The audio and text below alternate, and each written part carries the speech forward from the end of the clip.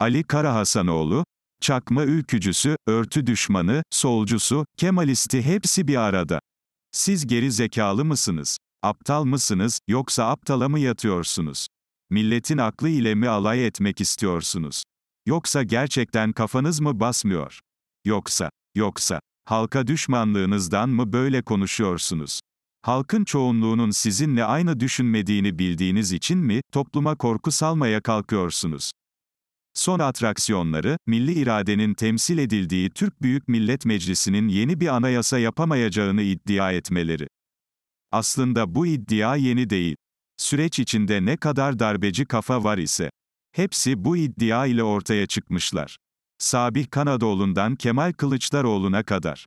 Bir yandan kendileri, sıfırdan yeni anayasa, hazırlayıp, seçim vaadi olarak açıklıyorlar.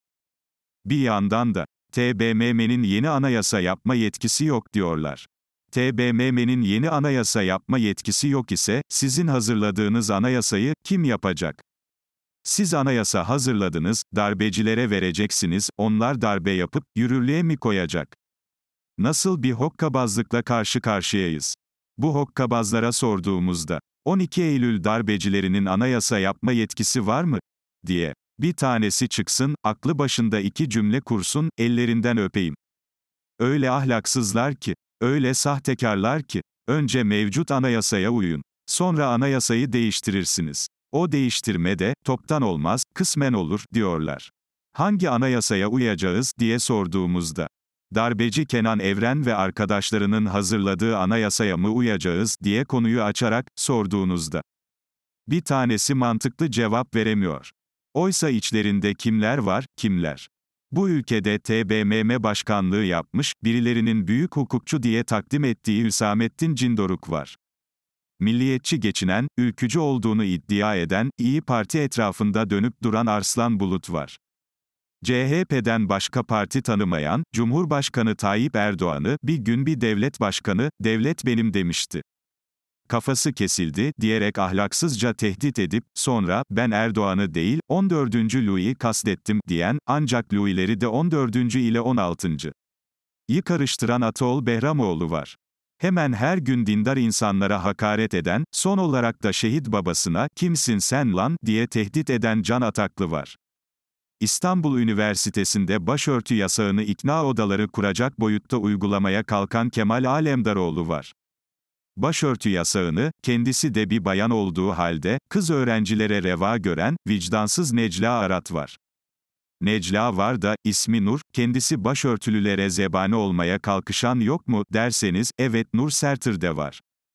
Güneyimizde dinciler olacağına, seküler yapısı ile YPG olsun, diyerek askerlerimizi şehit eden terör örgütünü, seküler yapısı ile tercihe şayan olduğunu söyleyebilecek kadar alçalan, ordunun yüz karası Türker Ertürk var.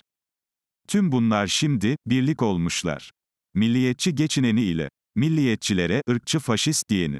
Kendisine, faşist denileni ile, onun, komünist dedikleri. Birlik olmuşlar. TBMM'yi itibarsızlaştırmaya çalışıyorlar. Oysa 2017 referandumunda, sokak sokak dolaşıp, sabah akşam açıklama yayınlayıp, anayasa değişikliği ile, TBMM işlevsiz hale getirilmek isteniyor. TBMM'nin yerini Cumhurbaşkanı kararnameleri alacak. TBMM devreden çıkarılıyor, diyen hokkabazlar. Şimdi, TBMM'ye anayasa yapma yetkisini çok görüyorlar. Siz nasıl ilkesiz insanlarsınız? Siz ne yanar döner varlıklarsınız?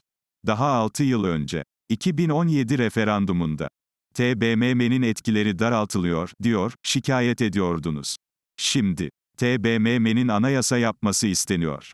TBMM'ye çok büyük bir görev veriliyor. Çok önemli bir işleve imza atması isteniyor. Dün, TBMM'nin yasama yetkisinin devreden çıkarılmak istendiğini, buna asla izin vermeyeceklerini söyleyen hokkabazlar, bugün TBMM'nin o görevini yerine getirmesi istendiğinde, TBMM'nin böyle bir yetkisi yok ki, diyorlar. Darbecilerin anayasayı sıfırdan yapma yetkisi var ama milletin seçtiği milletvekillerinin bu yetkisi yok demek, ahlaksızlık değil de nedir?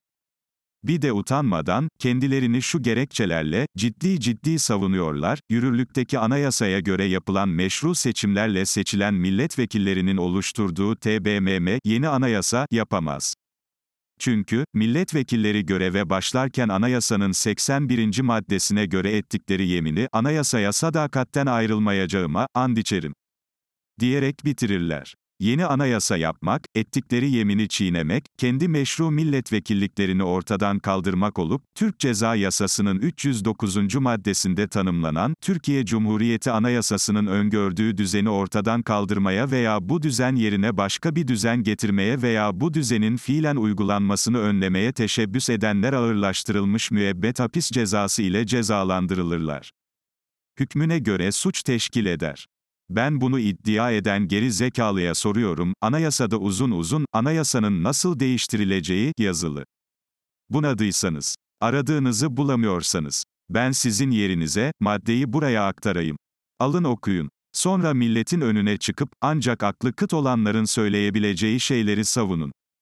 Evet, anayasadan, anayasanın TBMM tarafından nasıl değiştirileceğine dair düzenlemesini aktaralım, I. Anayasanın değiştirilmesi, seçimlere ve halk oylamasına katılma, madde 175 Anayasanın değiştirilmesi Türkiye Büyük Millet Meclisi üye tam sayısının en az üçte biri tarafından yazıyla teklif edilebilir.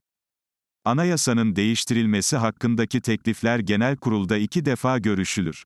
Değiştirme teklifinin kabulü meclisin üye tam sayısının 5'te 3 çoğunluğunun gizli oyuyla mümkündür. Daha devamını verip, sizi de meşgul etmeyeyim. Anayasada, darbecilerin bile kabul ettiği, anayasa değişikliğini, inkar edenleri, hakimin karşısına çıkartıp, yargılatmak lazım. Lazım da. Kimi kime şikayet edeceğiz? Maalesef kumaş bu.